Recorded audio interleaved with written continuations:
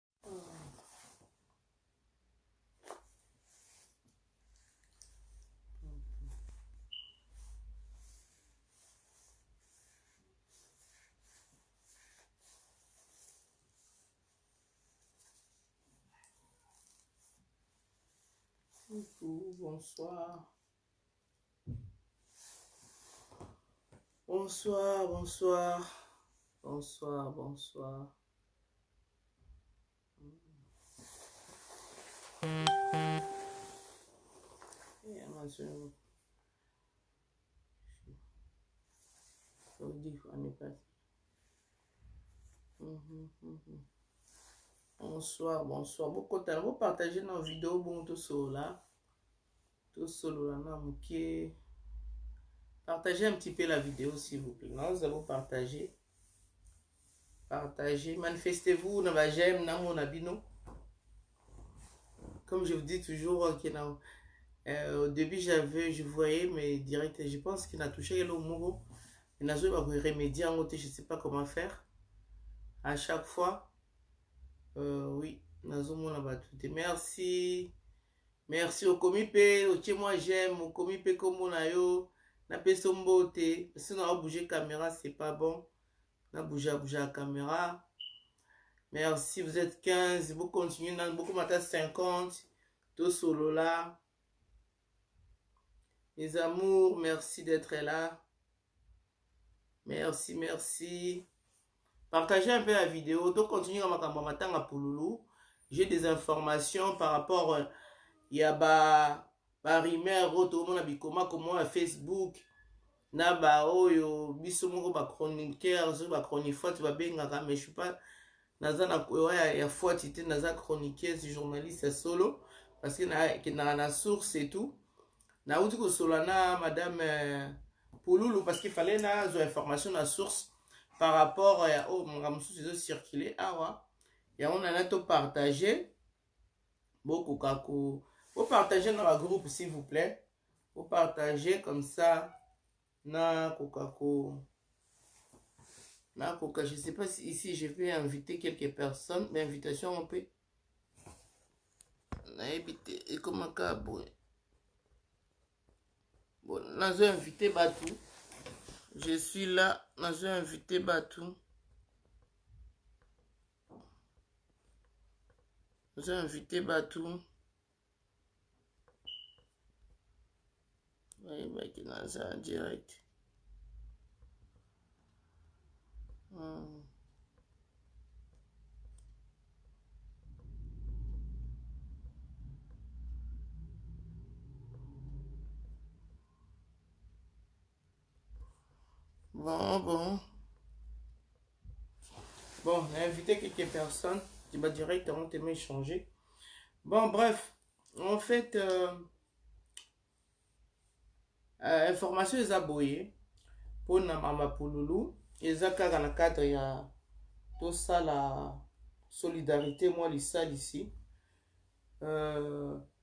pona atikali na babibi ya mike nasi bomonaki oyo bataki bavideo nasi meme le premier jour tomonaki baimage siki ete choka ozomona eh, mama azolela kote azoexplike comment ça se passe babebi wana ya mike bazali kutu kowela biloko ya kolia bazolia ozomona nzala banda likambo wana ezoyi bango na butu etout nini mwa eloko ya moke emonanaki wana mwana oyo mosusu azolia moke azalaki mwana mosusu akozala curia otala kutu bato me azalaki kolia ozomona ke Bana wana bala tongo wana balmilelaki te na sens que mama bango alamukaka na tongo asali mwati bana bameli me likambo wana ezwaki bango na butu e ba image nyonso wana ma, ça m'a euh, ça m'a vraiment frappé yango euh, nde toza baparent toza bacongolais ba, ba toza baboti na baboti to baza motema mawa en tout cas tomeka tokende vers euh, mwasi ya pululu nasi natie euh, nini coordonne na whatsapp eza wana natie uh, numero na ya whatsapp eza wana na naloba boye na bato bazoloba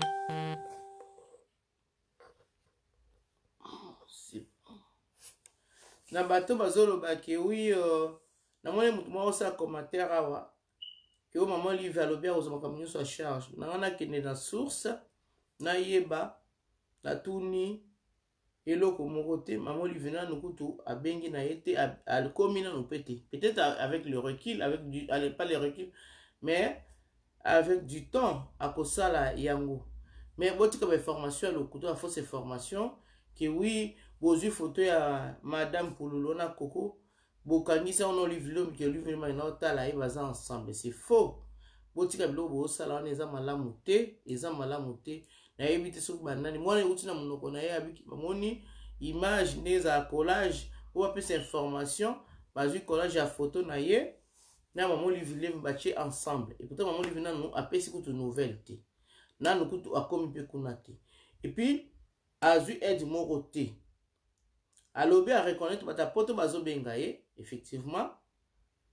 mais bobenga bocontinue kobenga ye nasi parmi bato oyo babengi oyo natuni ete batindeli mbongo nono ako se permettre te mais na bato ngai natiaki numero lobi awa te bebe bakomaki tozali na besoin ya numero wana elle a reçu beaucoup des appels de ya nini ya réconfort bareconforte ye je pense parmi ba appel wana ta musu mwa quelque chose se kendeki pona bana balia bamela surtout pona bana tosala effort tosunga ye atika na bana mike a partir ya kosunga ye ekopesa ye so tosungi mwa mingi epuis so bolandi ye c'était une femme qui était une femme au foyer donc mobali moto azali kobima libanda azali koluka mpona aya kosunga famille donc ndenge aza wana aza motu moteki asanga mombongo atekaka eloko mo non le fait que mobali aza susu te donc ma situation okota vraiment mobulu makasi mpenza aza mwasi oyo azali kodebrouye te azali kodépendre na mobali na ye yango nasengi bino bandeko na nga vraiment botya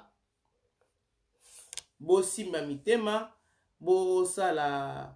mwa quelque chose numero ya whatsapp ne eza wana eza petite sœur na ye parce que telefone na ye yebisi nga ke ye aza na whatsapp te telefone ya monene euta kobunga oyo abanda osala whatsapp oyo azalaki nango ezaka mwa dépannage mpona yamba bapele mais telefone petite sœur ne propre nazwi ye pembe apembeni na ye ye mpe nkombo na bango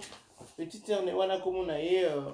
trinité euh, Dikotele ye moko koko dikotele leki na ye trinite eh, dikotele mutu aza kolo whatsapp wana e soki bobengi na whatsapp wana directement kopesa grande sœur na ye parce que baza ensemble ngai naye kaka kosenga bino ke tosala collecte tosala collecte mpona ndeko na biso wana e, ya te ke colette wana eya pa na nga non bobenga ye kombo na ye so oyo alingi mpe kombo na ye nakoki mpe kotyango na mire wana mpo na kobenga ye mpo na kotindi mwa western mwa ria mwa ma monegramme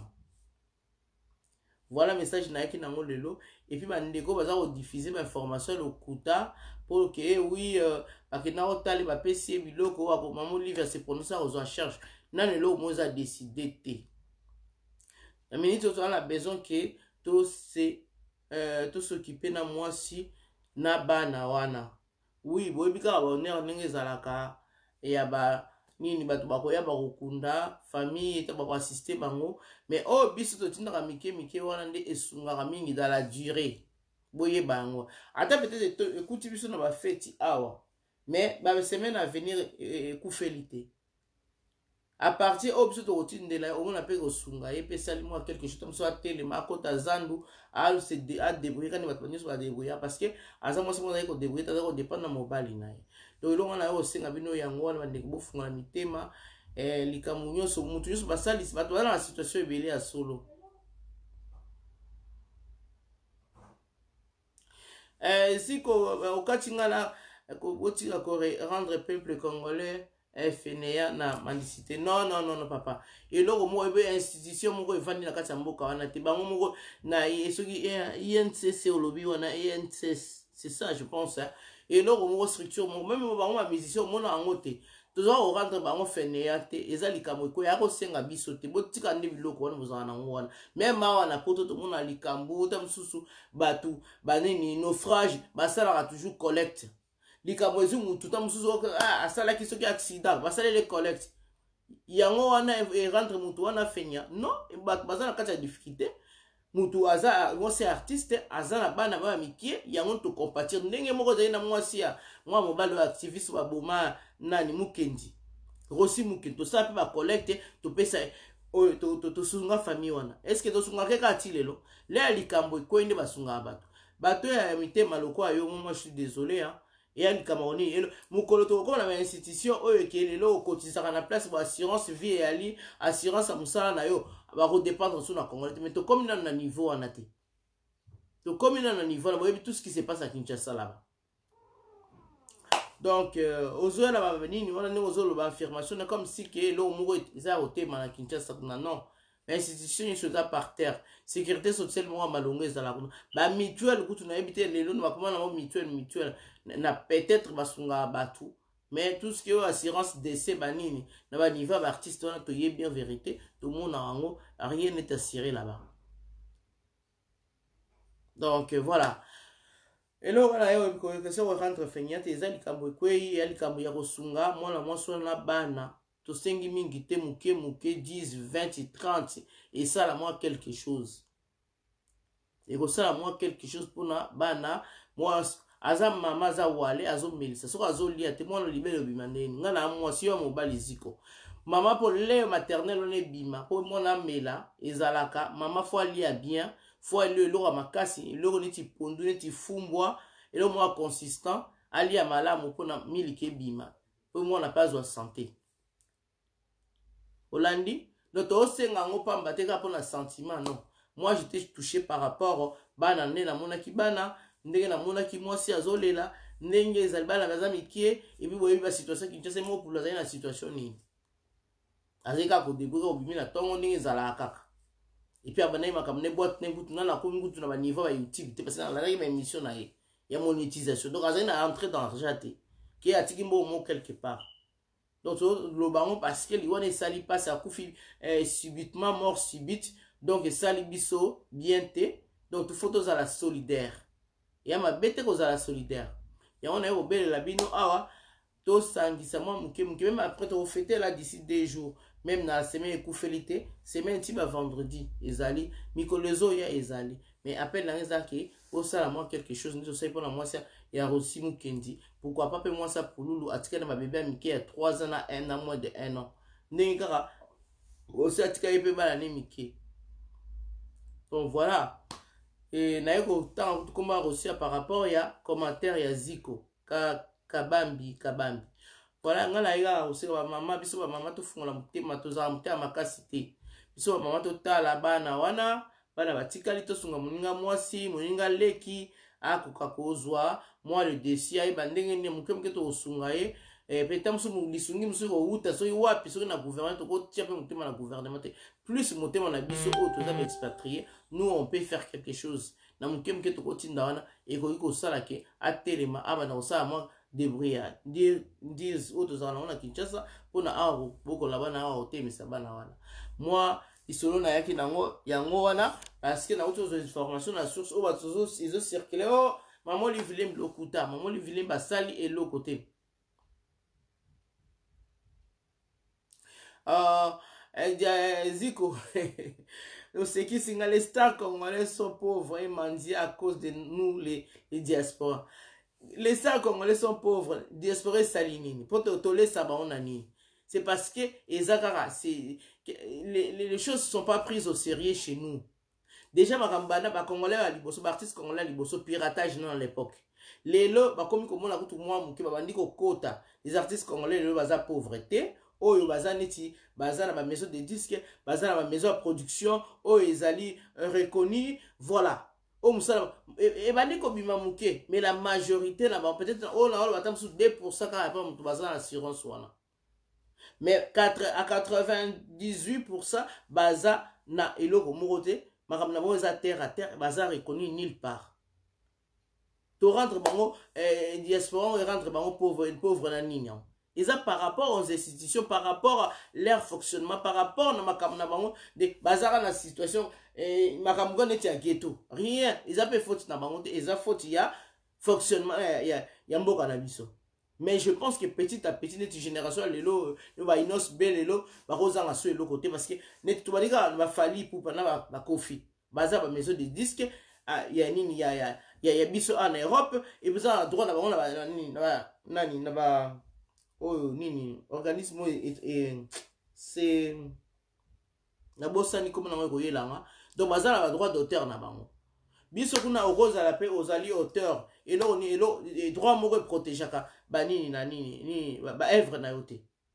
ye nani pululu oreproche nini ye aza evre nini yasi aproduire ya ye moko oyo bakoki koprotege aza auteur na nini eza kaka aza kojoue role ya bapesi role bacreye eh, personnage wana kutu ezali créé azali na kati ya groupe donc aza na œuvre moko oprotege eh, ya, ya oprotege te oyo lelo ke azalaki susu te nini akoki kolela nango non bato oyo baza vraimen na baœuvre na bango oyo akomaki neti scénariste aza, eh, aza scénariste akomaki scénario na ye peut-être un jour tokozwa ba institution wana capable ke akendeki koprotege bascénario na ye eh, ah, eh, akozwa ba droit d'auteur na ye maintenant tokomi na niveau wana faut pas comparer les choses c'est pas pareil